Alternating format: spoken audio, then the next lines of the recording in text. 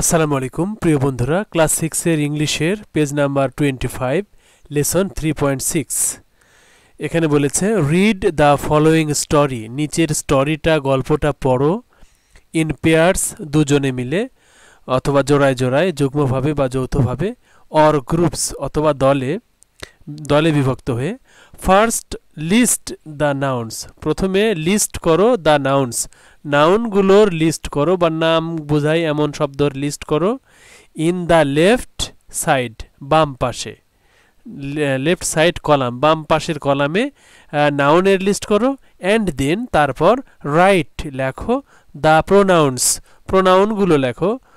For the nouns নাউনগুলোর জন্য in the right side column right মানে ডান পাশের কলামে তোমরা সেই নাউনের জন্য প্রোনাউনগুলো লেখো। নিচের গল্পটি পড়ো, জোড়ায় জোড়ায় দলে বা বাম দিকের কলামে আচ্ছা নাউন এবং ডান দিকের কলামে প্রোনাউনগুলো লেখো। এরপরে বলেছে হোয়েন ইউ কমপ্লিট যখন তুমি কমপ্লিট করবে দ্য অ্যাক্টিভিটি এই কাজটা শেয়ার ইট এটাকে শেয়ার করো উইথ দ্য ক্লাস মানে ক্লাসে শেয়ার করো following the directions given below নিচের নির্দেশনা অনুসরণ করে বা নিচের ডিরেকশন অনুসরণ করে তোমরা এটা শেয়ার করো। গ্রুপ ওয়ান উইল টেল মানে গ্রুপ মানে দল এক নম্বর বলবে আর noun and group two will use the appropriate pronoun for the noun তাহলে নাউনের জন্য সঠিক প্রোনাউন কোনটা হবে? সেটা প্রোনাউন বলবে গ্রুপ টু তার মানে গ্রুপ ওয়ান বলবে নাউন গ্রুপ টু বলবে সেই নাউনের প্রোনাউন আচ্ছা তাহলে আমরা এখানে গল্পটা একটু দেখি। ফিউচার লাইজ ইন প্রেজেন্ট এখানে একটা কাউবয় দেখো যে সে গরু চড়াচ্ছে এবং এখানে একজন পার্সন একজন ওল্ড এজেড পার্সন একটা ছাতা হাতে নিয়ে সে কিন্তু কাউবয়ের সাথে কথা বলছে। আচ্ছা এখন আমরা এখানে নাউনগুলো আগে আইডেন্টিফাই করব এই স্টোরিতে বা গল্পে। এখানে দেখো ওয়ান ডে একদিন তাহলে এই ডে কিন্তু এটা একটা নাউন একটা দিন, দিনের সময়ের নাম বোঝাচ্ছে। আ কাউ বয় একটা কাউ বয় তাহলে কাউ বয় একটা নাউন আচ্ছা। One day a cowboy একদিন একজন রাখাল উইথ আ ফিউ কাউজ এই যে কাউজ এটাও কিন্তু নাউন কারণ নাউন কিন্তু প্লুরাল হতে পারে।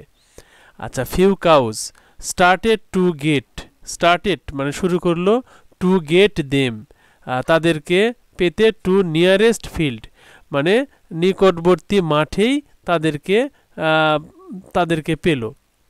অন হিজ ওয়ে আচ্ছা ফিল্ড এটা একটা noun on his way way একটা নাউন তার পথে ওয়ে একটা noun he mate say meet করল বা দেখা করল অ্যান ওল্ড একজন বয়স্ক ওয়াইজ ম্যান জ্ঞানীবান বা জ্ঞানবান মানুষের সাথে। তাহলে ম্যান এটা একটা নাউন এটা একটা নাউন পেলাম। উইথ অ্যান আমব্রেলা কি হাতে নিয়ে বা কি সাথে নিয়ে, একটা আমব্রেলা বা ছাতা সাথে নিয়ে। তাহলে ছাতা এটা একটা নাউন একটা জিনিসের নাম। হি ওয়াজ আ ইউনিক ম্যান সে হলেন তিনি হলেন একজন ইউনিক ম্যান বা অনন্য একজন মানুষ। তাহলে এই ম্যান এটা আর একটা নাউন আচ্ছা এরপরে হি ইউজড তিনি ইউজড করলে ইউজ করলেন, ব্যবহার করলেন to give he use to give তিনি উপদেশ দিতেন। আসলে এখানে ইউজডের পরে টু থাকলে এখানে অতীতকালের একটা অভ্যাস বোঝায়। তাহলে he use to give advice তিনি কি করতেন?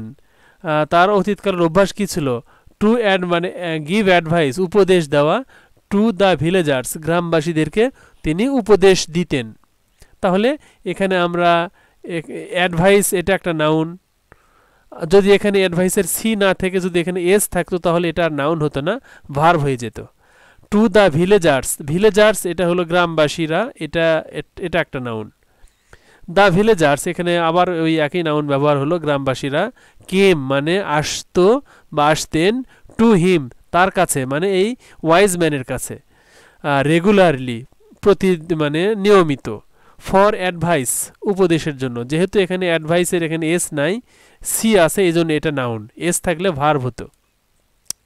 সিং দ্য ম্যান, এই ম্যানকে দেখে, মানুষকে দেখে, এই ম্যান একটা নাউন দ্য কাউবয় রাখাল রাখাল এটা একটা নাউন কাউবয় আস্কড হিম তাকে জিজ্ঞেস করল ফর অ্যাডভাইস মানে উপদেশ চাইলো অ্যাডভাইস এটা একটা নাউন ফর হিজ ফিউচার তার ভবিষ্যতের জন্য, তাহলে ফিউচার এটা একটা নাউন আচ্ছা হোয়াইল হোয়াইল টকিং তোমরা একটা জিনিস খেয়াল করবে হোয়াইলের পরে যদি কোনো ভার্ব দাও, তাহলে তার সাথে অবশ্যই আইনজি দিবে।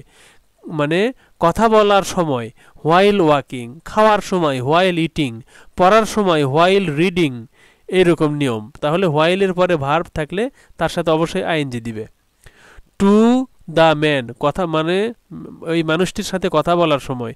তাহলে মানুষটি বা ম্যান এটা একটা নাউন দ্য কাউবয় কাউবয় একটা noun lost his concentration lost হারিয়ে ফেলল হিজ কনসেন্ট্রেশন তার মনোযোগ। তাহলে কনসেন্ট্রেশন এটা একটা নাউন তাহলে তার মনোযোগ হারিয়ে ফেলল।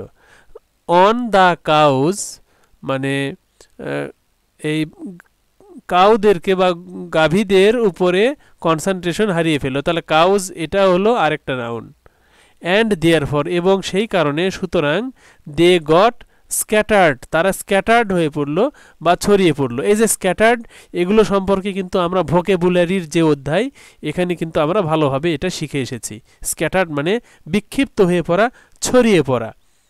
আচ্ছা তাহলে এখানে কোনো নাউন নাই। Running here and there here and there মানে এদিক সেদিক। হেয়ার অ্যান্ড দেয়ার এখানে পুরোটা মিলে একটা অর্থ হবে এদিক সেদিক। রানিং মানে দৌড়াতে। সে কি করল? মানে তারা এই গাভীগুলো এদিক সেদিক দৌড়ে দৌড়ালো। মানে বিক্ষিপ্ত হয়ে পড়ল স্ক্যাটার্ড হয়ে পড়ল। ইন ডিফারেন্ট ডিরেকশনস বিভিন্ন দিকে। ডিফারেন্ট মানে বিভিন্ন ডিরেকশনস এটা হলো দিকসমূহ। তার মানে এটা হলো আরেকটা নাউন তাহলে এগুলোতে আমরা এই কয়টা নাউন পেলাম? এরপরে আমরা পরের অংশে দেখি, দ্য ওল্ড ম্যান তাহলে এই বৃদ্ধ লোক ম্যান, এটা একটা নাউন, স্মাইল্ড, স্মাইল করল মানে মুসকে হাসলো, অ্যান্ড সেইড এবং বলল, টেক কেয়ার, যত্ন নাও অফ দ্য ক্যাটল মানে গরুগুলোর, বিফোর ইউ সিক অ্যাডভাইস উপদেশ নেওয়ার আগে তুমি এই ক্যাটলগুলো বা গরু, গরুগুলোকে কী করো, এগুলো, এগুলোর যত্ন নাও, টেক কেয়ার করো। তাহলে এই অ্যাডভাইস এটা একটা নাউন পেলাম, এই ক্যাটেল একটা নাউন এই দুটা নাউন বাট কিন্তু দ্য কাউবয় এই কাউ কাউবয় আরেকটা নাউন রাখাল ছেলেটি কুডন্ট মানে কুড নট আন্ডারস্ট্যান্ড বুঝতে পারল না। উড ইউ প্লিজ এক্সপ্লেইন আপনি কি দয়া করে এক্সপ্লেইন করবেন ইট ইহাকে? He asked the wise man say wise ম্যানকে আস্কড করল বা জিজ্ঞেস করল। তাহলে এই ম্যান এটা আরেকটা নাউন দ্য ওয়াইজ ম্যান জ্ঞানী লোকটি তাহলে এই ম্যান আরেকটা নাউন টোল্ড দ্য কাউবয় কাউবয়কে বলল, এই কাউবয় আরেকটা নাউন দ্যাট যে his present led him to the future তাহলে the wise man told wise ম্যানটে বলল দ্য কাউবয় কাউবয়কে বলল, কি বলল দ্যাট যে হিজ প্রেজেন্ট তার এই প্রেজেন্ট বা বর্তমান সময় লেড হিম তাকে নিয়ে যাবে কোন দিকে? টু দ্য ফিউচার ফিউচারের দিকে। তার মানে বর্তমানে যে ভালো কাজ করবে ফিউচারে সে আরাম করবে বা মজা করবে। তার মানে এই বর্তমানের মধ্যেই কিন্তু ফিউচার লাইজ বা নিহিত আছে। তার মানে বর্তমান সময়ের মধ্যেই কিন্তু সুন্দর ভবিষ্যৎ নিহিত আছে। তাহলে আমরা যেসব নাউন খুঁজে বের করলাম, এরপরে আমরা এখন প্রোনাউনগুলো খুঁজব।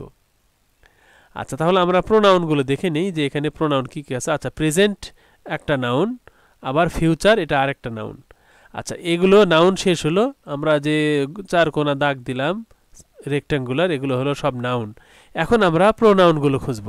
তাহলে এই গল্পের আবার শুরুতে আমরা যাই।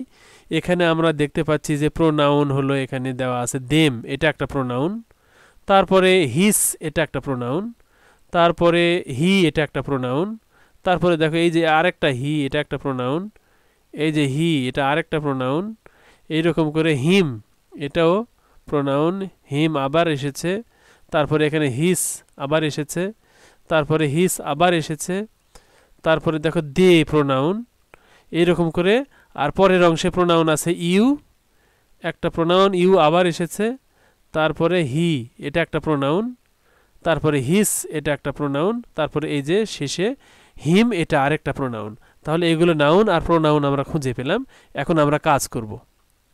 এই লিস্টের এই পাশে নাউন বসাবো, এই পাশে সেই নাউনের প্রোনাউনগুলো লিখব। তাহলে আমরা লিস্টে দেখো এই পার্শ্বে লিখব নাউন্স আর এই পার্শ্বে সেই নাউনের জন্য কি প্রোনাউন হবে সেটা আমরা লিখব।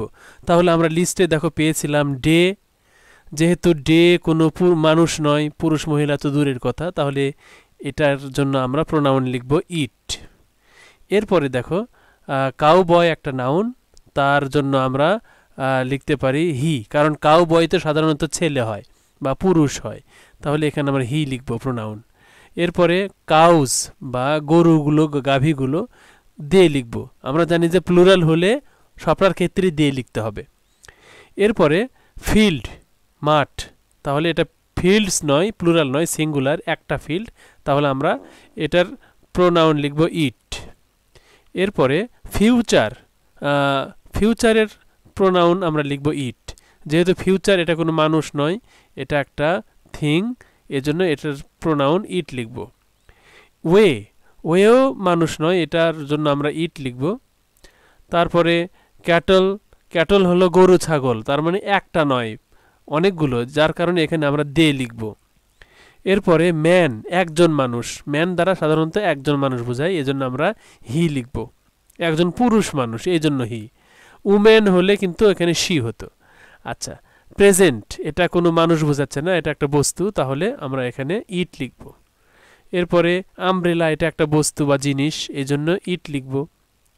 এরপরে ভিলেজার্স, এখানে দেখো ভিলেজার্স মানে কিন্তু মানুষ, এটা কিন্তু বস্তু নয়, এবং অনেকগুলো, ভিলেজার্স, প্লুরালের এস আছে, তাহলে অবশ্যই আমরা দে লিখব, প্রোনাউন হিসেবে দে লিখব। অ্যাডভাইস, এটা একটা জিনিস বা বস্তু এই জন্য আমরা ইট লিখব, এর প্রোনাউন তারপরে ফিউচার ফিউচারের জন্য আমরা এখানে ইট লিখতে পারি প্রোনাউন হিসেবে। তারপরে কনসান্ট্রেশন কনসান্ট্রেশন হলো মনোযোগ, এটাও কোনো মানুষ নয়, আমরা ইট লিখব। প্লুরাল হলে কিন্তু এখানে দে লিখতাম কনসান্ট্রেশনস হলে আমরা এখানে দিয়ে লিখতাম। প্লুরাল হলেই তার প্রোনাউন দেওয়া হবে। তারপরে ডিরেকশনস এটা দেখো এই যে প্লুরালের এস আছে, তার মানে অবশ্যই এখানে আমরা দে লিখব। আচ্ছা তাহলে আমরা এতক্ষণে নাউন এবং প্রোনাউনের লিস্ট করলাম। এখন এই একটা গ্রুপ কি করবে? নাউনগুলো বলবে, আর একটা গ্রুপ তোমরা কি করবে? প্রোনাউনগুলো বলবে, এটাই কিন্তু গ্রুপের কাজ দেওয়া আছে। আচ্ছা যাই হোক, তাহলে এই সাথে এই ভিডিও এখানেই রাখছি। আল্লাহ হাফেজ। এই প্লে লিস্টে গেলে তোমরা দেখতে পাবে যে গণিতের ষষ্ঠ শ্রেণির গণিত দু হাজার তেইশ এইটাতে তুমি যদি ক্লিক করো, তাহলে তুমি এখানে এই ক্লাস সিক্সের গণিতের সকল পৃষ্ঠা তুমি তোমরা এখানে সাজানো পাবে। যেমন দেখো পৃষ্ঠা এক, দুই, তিন, চার, পাঁচ, ছয়, সাত, আট, এরকম করে প্রত্যেকটা পৃষ্ঠার ভিডিও তোমরা এখানে পাবে।